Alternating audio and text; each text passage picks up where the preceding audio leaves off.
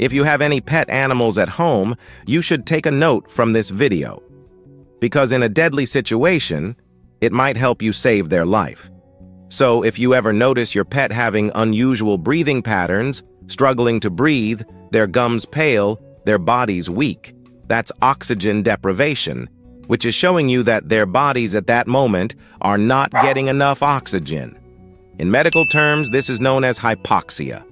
You see, oxygen is necessary for the existence of every living being, including animals. We all know that if a human being is deprived of oxygen, we will land in heaven or hell. But what about animals? How does it affect them? Will they die in the same manner as humans, or there is a chance of their survival? Let us first understand why this happens so that we will know what first aid can be done to save their life if this unlucky situation ever arrives in our pet life.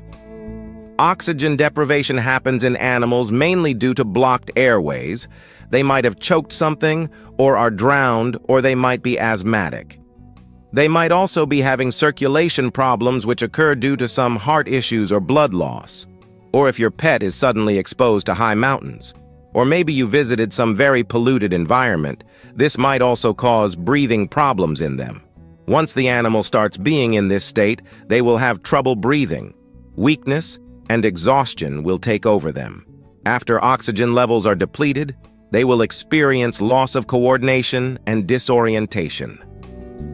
Their heart rate and blood pressure will change.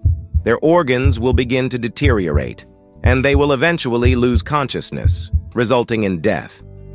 When an animal is deprived of oxygen, their body produces a sequence of physiological responses to compensate for the lack of oxygen. Some of the responses are as follows.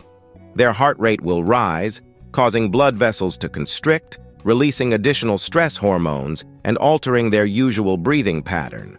As a result, their heart will start pumping blood to the key organs. While these responses may help the animal live in the short term, they can also lead to additional difficulties and damage if the oxygen deprivation continues. Pauls keep in mind that oxygen deprivation is further divided into three categories. Hypoxemia occurs due to low oxygen in the blood, and in this case, the animal will feel weak and dizzy.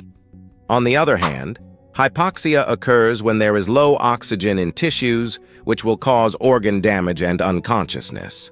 The third category is known as anoxia, which occurs when there is no oxygen at all. Pray to God this never happens, because in this case, unless and until pet doctors are nearby, you will not be able to save them with your efforts. Now, what can be done to save your baby? Well, always keep in mind that prevention is better than cure, and a little knowledge goes a long way. Hence, learn basic medical procedures, such as how to perform CPR on animals. Keep in stock the special oxygen masks for pets, and their medicine if they are allergic to something. But the most important part is that if you have a pet animal at home, make sure they are away from objects that might suffocate them, supervise near water, install carbon monoxide detectors, and know the signs. If you see them, struggling to breathe, check and remove obstructions and perform CPR if needed. Make them warm and provide comfort to reduce their panic and stress. By being informed and proactive, you can be your pet's hero. However, Every animal is different. Some can hold their breath longer. Others have special adaptations. But if you see an animal struggling, react fast and seek professional help. Remember, early intervention is key. If you suspect hypoxia, rush to the vet. With prompt treatment, most animals recover fully, but even a little awareness can prevent tragedy.